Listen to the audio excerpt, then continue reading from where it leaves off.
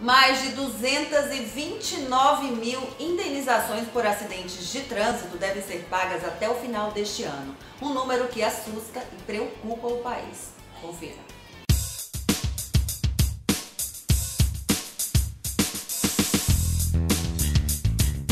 Na projeção feita pela seguradora Líder, empresa que administra o DPVAT, teremos até o final do ano cerca de 230 mil indenizações pagas decorrentes de acidentes de trânsito no Brasil. Desse número alarmante, cerca de 30 mil indenizações serão por mortes, quase 144 mil por invalidez permanente e um pouco mais de 56.400 para pagamento de despesas médicas. O cenário não é nada promissor. O Brasil continua registrando uma média de mortes causadas por acidentes acima da meta firmada pela década de ação pela segurança no trânsito da Organização das Nações Unidas. E esse quadro não deve mudar se continuar o veto à obrigatoriedade de exames para obtenção e renovação da CNH, que são feitos por médicos e psicólogos especialistas em tráfego. A afirmação é do coordenador da Mobilização Nacional dos Médicos e Psicólogos Especialistas em Medicina do Tráfego e diretor da Associação Mineira de Medicina do Tráfego. Além dos graves efeitos psicológicos no acidentado e em sua família, o aumento anual desse exército de inválidos tem um impacto na economia e na previdência social.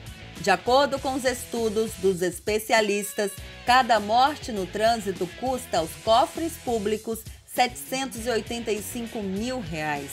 Segundo o IPEA, Instituto de Pesquisas Econômicas e Aplicadas, os acidentes consomem 50 bilhões de reais por ano dos cofres públicos, sem contar o impacto para a Previdência, com milhares de aposentadorias precoces por invalidez todos os anos.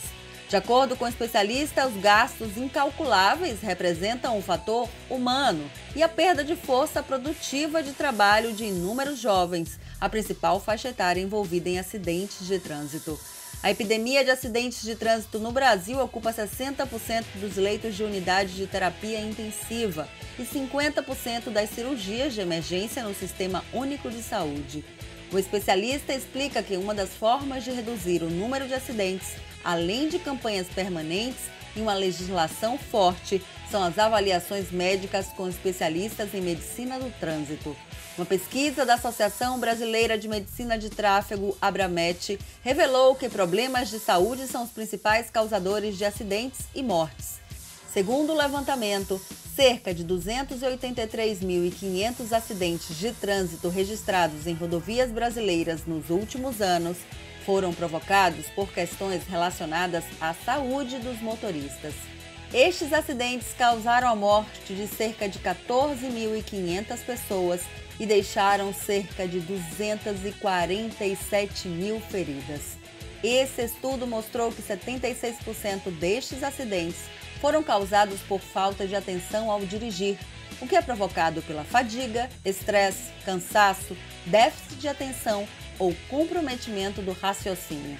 E isso foi responsável por 62% das mortes e 74% dos ferimentos, por isso, a atuação dos especialistas em medicina do trânsito é imprescindível para reduzir as mortes.